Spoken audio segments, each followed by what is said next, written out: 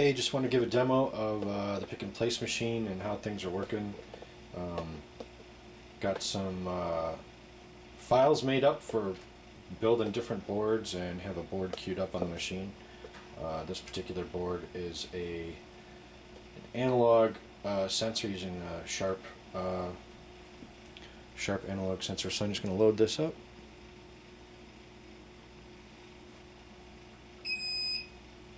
And start it.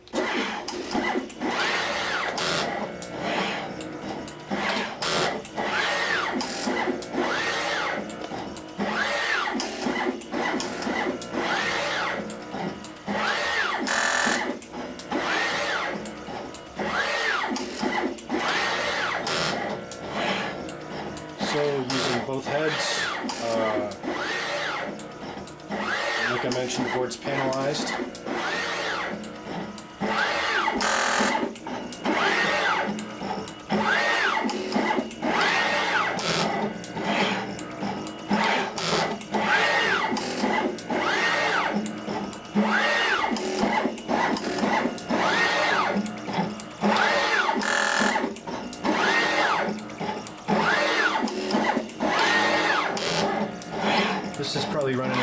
60% of full speed.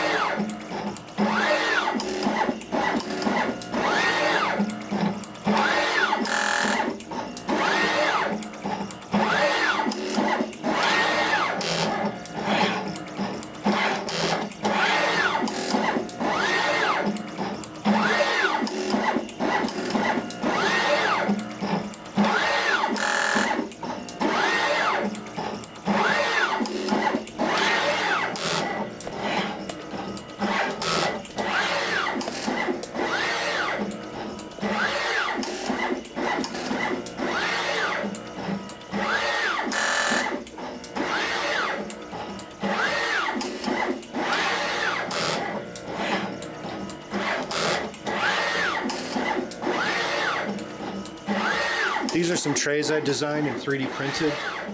So the idea is pretty obvious if you look over here. Just put some chips on there, load it up, and uh, tell the device where to go to get the th- things.